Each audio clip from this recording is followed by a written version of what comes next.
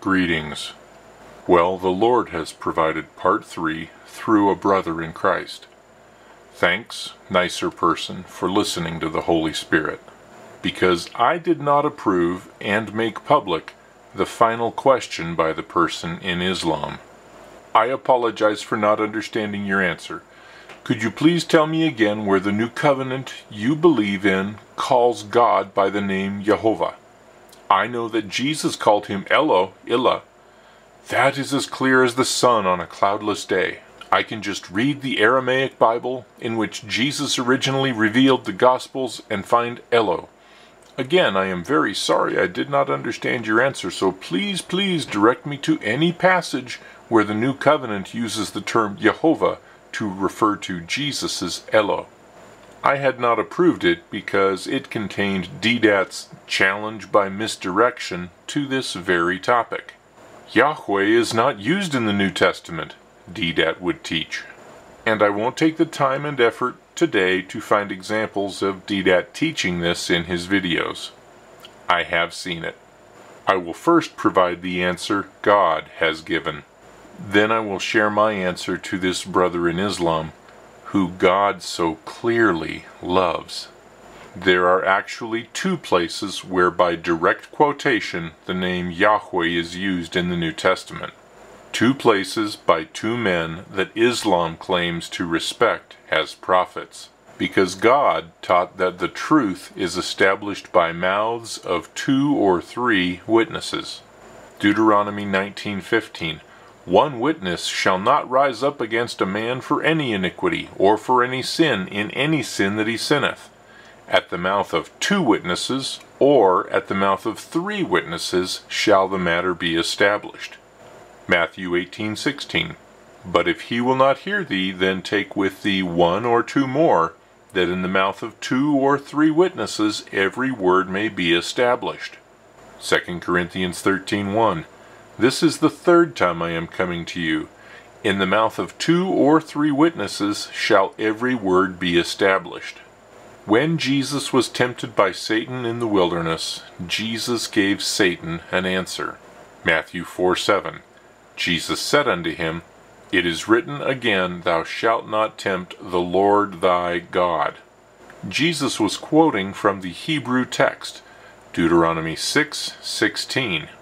Deuteronomy 6:16 says, "You shall not tempt the Lord your God as you tempted him in Massah." Here is the Hebrew text from biblos.com. You shall not put Yahweh to the test. And it continues and further dismantles the strategy of claiming erasure and replacement, because both Yahweh and Elohim are used in this verse. Lord and God. You shall not tempt the Lord Yahweh your God, Elohim, as you tempted him in Massah.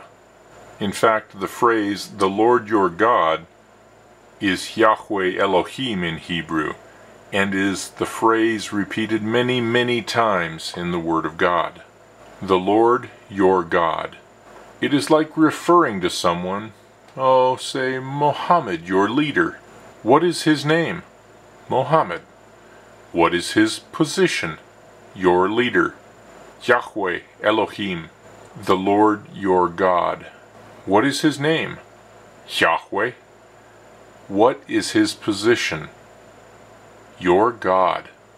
So that absolutely clear example was quoted by Jesus, meaning Jesus referred to Yahweh Elohim, or Elohim, as well, uh, er, Yahweh Elohim. That is one person Islam regards as a prophet giving one absolute example in the New Testament of using the name Yahweh. Islam may try to claim Jesus spoke Aramaic. However, because Jesus was quoting the Hebrew, he would have used the Hebrew. Then another person Islam regards as a prophet, Yahya, also uses the name Yahweh. Certain men sent by the Jewish leaders were sent to ask John who he was, sometimes referred to as the three questions.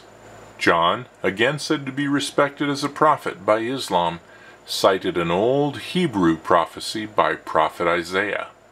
John 1:23. He said, "I am the voice of one crying in the wilderness, make straight the way of the Lord, as said the prophet Isaiah." Prophet John, peace be upon him, was citing from prophet Isaiah, peace be upon him, Isaiah 43, the voice of him that crieth in the wilderness, Prepare ye the way of the Lord, make straight in the desert a highway for our God. Again, God has neatly provided an example that proves Yahweh was known in the New Testament, and it refutes the erase and replace jihad. Um, how does it do that? By again including both Lord, Yahweh, and God, Eloheinu, the voice of him that crieth in the wilderness, Prepare ye the way of the Lord, Yahweh. Make straight in the desert a highway for our God, Eloheinu. So, in summary, the answer God revealed was established by two prophets, demonstrated that Yahweh was known and used in the New Testament, refutes the erase and replace jihad provides the perfect teaching example regarding Yahweh Elohim, the Lord God, reveals his love for an individual Muslim by working to show him the clear truth, and demonstrates the Holy Spirit working through multiple believers to accomplish his will and share his gospel. Now I will share my answer to this brother in Islam, who God so clearly loves. I had to get back to you, brother, since you clearly want a sincere answer. I am able to prove to you that Jesus used Yahweh in the New Testament.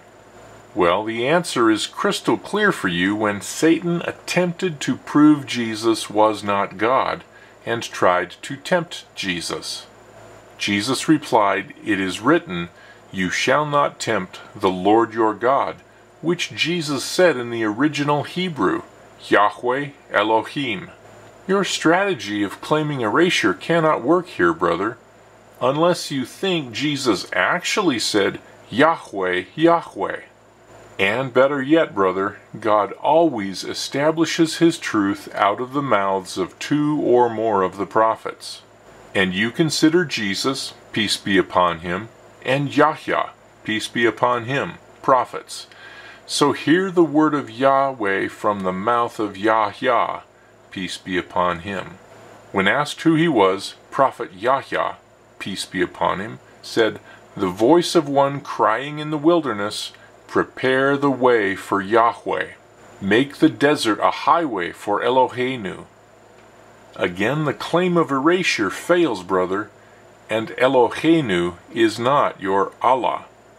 My friend, I must tell you that it is not me who has revealed this, but the Holy Spirit of God has given this answer to you by another believer who did not even know of your request.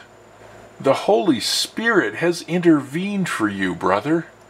It makes me want to cry that Yahweh loves you so much he has done this thing to reach out to you and call you to him. Will you not listen? Yahweh, maker of heaven and earth, has answered you. Hear him and believe, brother. Dude, I am crying here. Yahweh answered.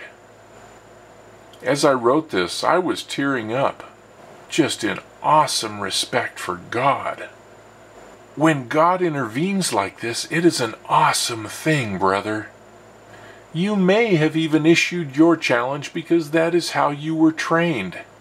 But Yahweh is all knowing and Yahweh is ever present to answer. Do not harden your heart against Yahweh now, brother. Ponder and marvel at this, my friend. Yahweh has spoken to another Christian who wrote to me the answer to your question, and I had not even approved your final question. Think seriously about this, my friend. Oh, Jesus, forgive me, a sinner. Strip me of human pride, God. Father, soften his heart. Soften mine. May I be confident in nothing save you alone, dear God. May the Spirit of God open your eyes to the light, your ears to the truth, and your heart to His Son, the Lord Jesus Christ, and to the miracle God has just worked by revelation knowledge to give another Christian the answer to this Muslim's question. Oh, Amen.